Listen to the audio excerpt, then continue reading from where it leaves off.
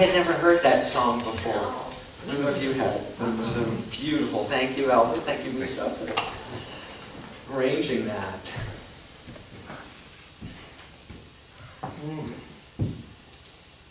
So the holidays are here. Blink.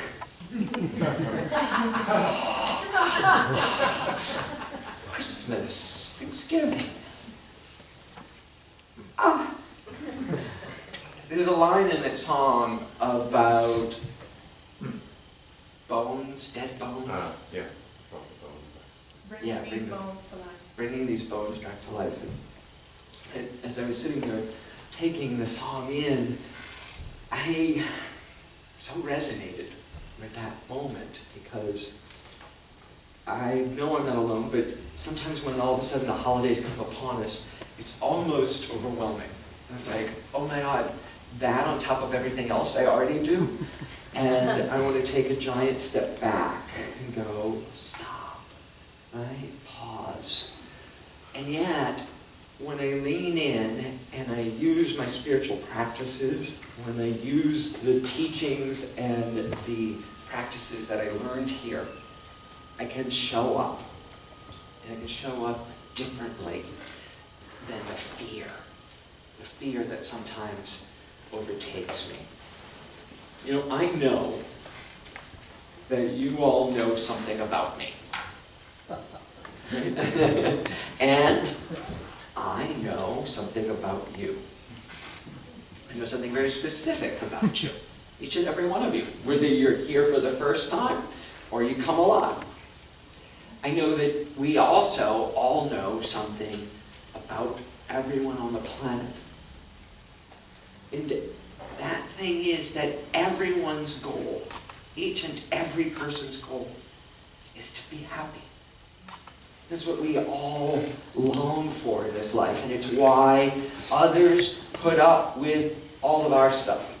It's why people endure difficult situations and hardship, because they're striving for happiness for themselves or their family or their loved ones. That longing, that desire for happiness is even enshrined in our founding document by Thomas Jefferson, where he talks about the pursuit of happiness being endowed by our Creator, by the oneness, the God that stands under all manifestation. So it's really amazing that this country and as a community, we actually have a day for gratitude, for thankfulness, because there is true scientific correlation now that the idea that actually living a life of gratitude, a practice of gratitude, creates happiness, creates happiness for you. Uh, recently, I, um, well, it wasn't recently, it was almost a year and a half ago now. Blink, a year and a half ago, we went to, together, some of us went to a Byron Katie workshop up at Spirit Rock. And it was an amazing workshop of people getting up to do the work. There was also an opportunity for some question and answers from the audience there. And I was called to get up and ask a question. I asked, you know, I really appreciated all the discussion that they were having around family and what it was to be a parent and how to let expectations go in that journey. But I still had this thought, this feeling, that it was my job, my job, to teach myself, my son, something. At the time, my son was 17. And so Byron, in her wisdom, looked at me and said, well, if that were true, that that was your job, what would you want to teach him? And I looked at her and said, well, if I knew that, I'd be a lot more successful at it. but she wouldn't let me off the hook, and she kept pressing, so what is it that you want him to know? What is it that you want to teach him? And finally I came up with the answer that I want him to be successful. I want him to have the tools and the practices that lead him to a successful life. And again, she wouldn't let me off the hook, and she said, what does that mean? What does success mean? tucked and I thought inside and I went, I wanted to be happy. I wanted to be happy. And she looked at me and said, well, if you want to teach him how to be happy, isn't the best way to be happy yourself? oh, shit. you mean yelling at him won't get that point across? Calling him bad and wrong won't do that. And so I was there in this, this perplexing dilemma because I had been practicing unity uh, spirituality and doing the inner work in my 12-step program, in my spiritual program, and I had, I thought, achieved this equilibrium. After all, I'm Reverend Ken, the senior minister right? and this 17-year-old boy knocked me off that pedestal so easy. I fall. And in that humbling moment, I get to be back in my practice. Back to square one. Back to an understanding of what gratitude is. So, we've talked about two things here. I've talked about happiness, and I've talked about gratitude. And, you know, it might be really easy to say, well, that happy people or successful people can easily be grateful. But all the research shows that it actually works all the opposite way. And let me ask you this. Do you know really successful people, right, that aren't happy? because there's something in the striving for success or striving for happiness that keeps you always striving, always seeking, always wanting more, more of the thing that you quantify as success, whether it be material or a relationship or a position if you achieve it, when you get there, you go, oh, well, I need this now. And you're constantly going forward more and more. A practice of gratitude is different in that it anchors you in the now moment. That breath of, in this moment, I am grateful for everything around me.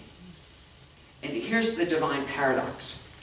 When you can have a goal in your life, but also be completely content and grateful for everything you have in the moment.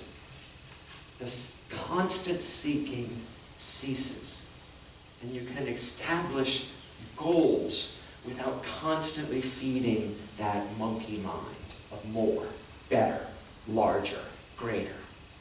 When you can breathe into the now moment and establish a practice of knowing that there that God, that the Almighty, one power, is at work in this moment, is supporting you.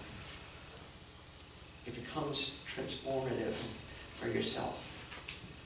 And people who have a practice of gratitude, grateful people, are more successful, get better sleep, have better relationships, and are achieve, able to achieve more in their life.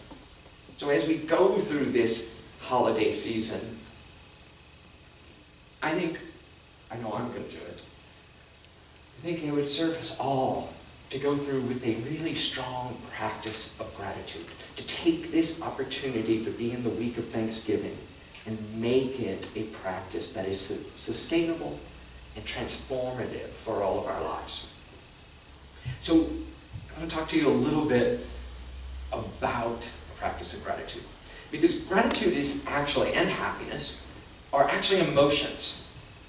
And they're, that's all I have. Gratitudes are emotions. Happiness is emotions. Right? It's an emotional feeling. You have an experience of gratitude. So they're fleeting. Like all emotions, they change. They shift.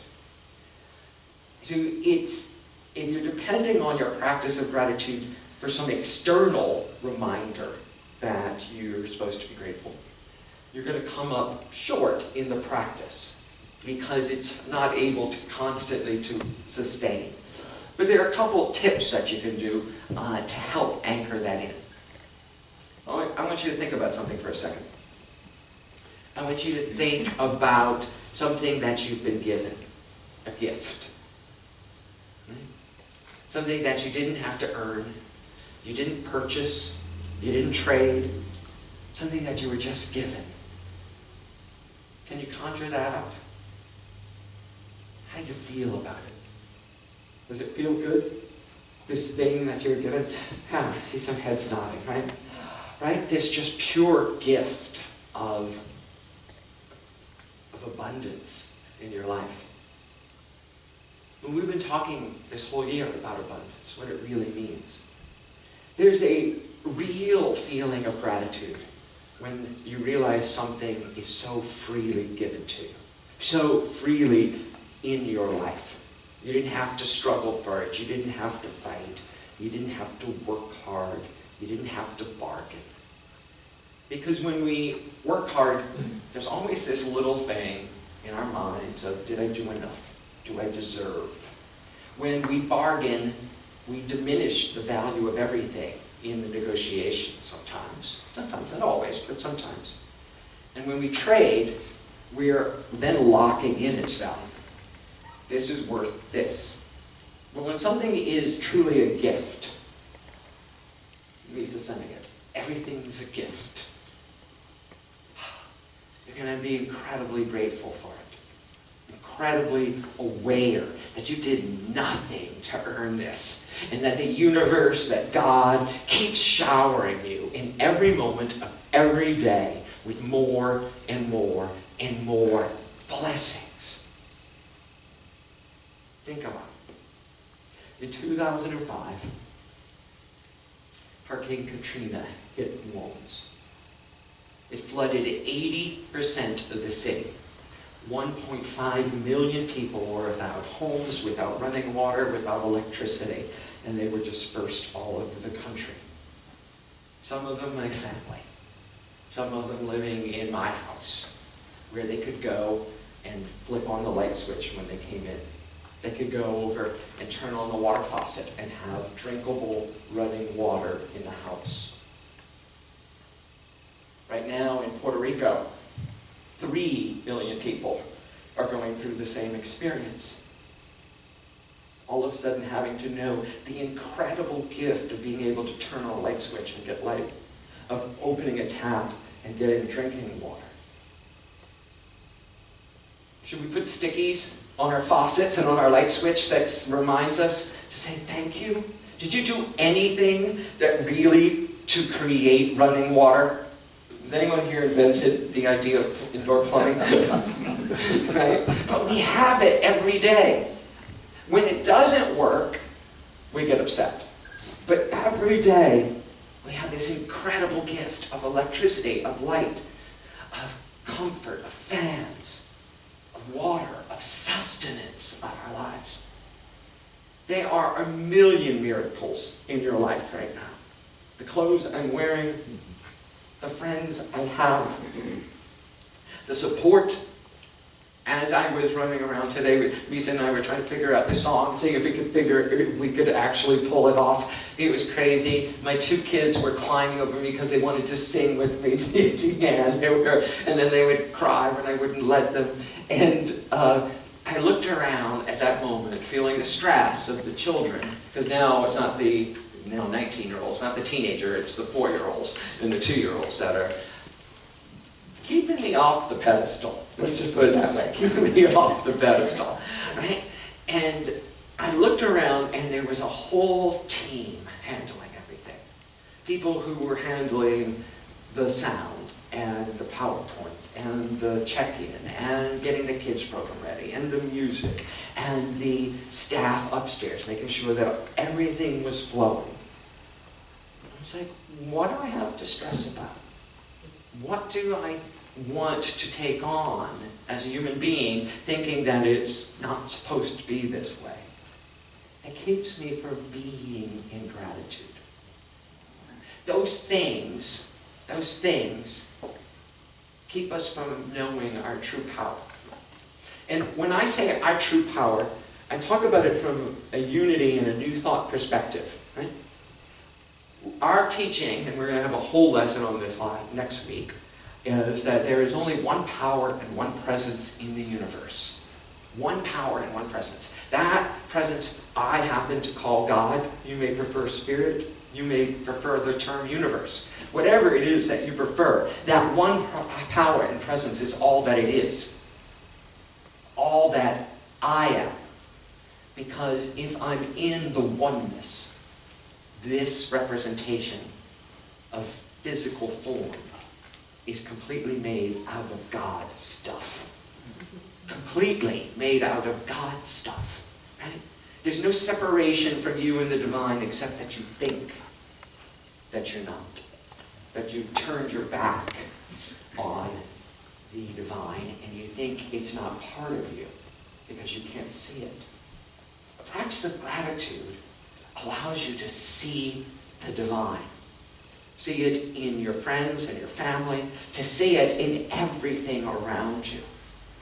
You know, A Course in Miracles teaches us that there is only love or fear, and that the process of miracles is that, a shift from fear to love. Well, I know that the shift from stress or fear to gratitude is a process that reveals the miraculous already at work in your life. Already you are showered with incredible blessings. But we just forget to notice them because they are like the light switch. They're like the tap water. We don't begin to see them anymore. So I have a couple of suggestions for us this week. A couple of ways that we can develop a practice of gratitude. As I mentioned, gratitude is a fleeting emotion. So a practice of gratitude is essential to living a life of gratitude. So two things I'm going to suggest. It, we all learned this when we were kids. How do you cross the street? You stop first, right? Oh, then you look. And you listen. And then you go. You can listen too. stop, look, and listen is another one. But to cross the street, you have to stop. You have to look. And then you go. Then you choose which way to go forward or whether to wait. But you make that choice in the moment. So I'm going to ask you, as you go through your life for the next couple of weeks, months, to practice stopping. You know, it happens to us all the time, right? Who has to stop on a red light on their way here? Who has to stop and wait for the bus? Who has to stop and wait for someone else to cross in front of you? When you go to the grocery store, do you have to stop and wait in the line to check out? All these stops are built into our lives, and we treat them as an inconvenience. we treat them as something, oh, or that's an opportunity for our monkey minds to go crazy. Pull up to the traffic light, stop and wait. I'm going to be late. This traffic light's making me be late. This traffic light's the problem. That person who's walking across the street so slow. right? How about, oh, some other people do that too. How about if we walk up to the traffic light, stop, and actually look at what's around us? Look at the beautiful old lady or old man crossing the street. Look at the little kids playing on the corner. Look at the gorgeous vehicle that you're driving. Look at the old vehicle that keeps running. right?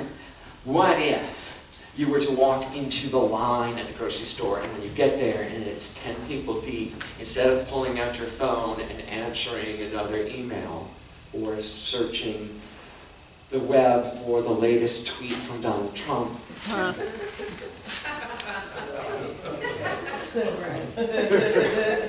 so that you can get more upset, that you actually just paused and prayed to develop in those moments a way of practicing stop. Look at that basket of food that I was able just to pick up off the shelves and take home with me. What an amazing gift. You know, there are millions and millions of people who don't shop that way around the world. Right? That's not how they get their dinner. The gift of it, the abundance of it, prosperity of it is all around us. How about at the end of the day, when your body tells you it's time to stop. That you do then take out your phone and make a gratitude list of three things. Three simple things that you're grateful for in that day. And text it to your prayer buddy, or to your best friend, or to your spouse, or to someone across the country or across the world who might just be waking up that day. And let you know three things that you're grateful for. And there's some really interesting social science around this and psychology around it. They ask that you only do three things. Don't make your gratitude list 10 things. Three things. And you know why? Because our human mind is a really funny thing. We think if we can come up with three things and write them down, that was easy. And we think, wow, I live a great life. But if you set your goal that you want to find 10 things you're grateful for every day and have to list those 10 things, you might have to struggle to come up with them or repeat. And then our minds start to think, well, see, wasn't too good a day. I couldn't come up with 10. We'd be crazy. We'd be absolutely crazy. But to know that, to know that, keep it simple. In 12 step, we have a, a, a saying, it's, it's not very politically correct, but it's keep it simple, stupid. right? Because we have a tendency to let the mind spin and to talk ourselves out of our good. To keep it simple is a way, and, and I like better, keep it simple, sweetheart. keep it simple, sweetheart. So that we can be present to what it is. A gratitude practice may seem simplistic, but it is the most powerful tool for transforming your life. That you can start without any guru, without any special skills, without anything, and have better relationships, have better work, make more money, have better relationships with your employees or with your boss, whichever way you sit in that, in that arena, with your coworkers. Having a practice of gratitude allows you to shift from the fear to the miraculous, from the lack to the bounty. As we enter this season of giving and receiving, of gratitude and of hope, know that a world filled with gratitude, a community filled with the gratitude practice will transform everything they touch. That energy, that knowing, and that peace will lift us all. And I'm grateful for it all. We sang, All that I am, all that I see, all that I've been, and all that I'll ever be. It's a blessing. It's so amazing.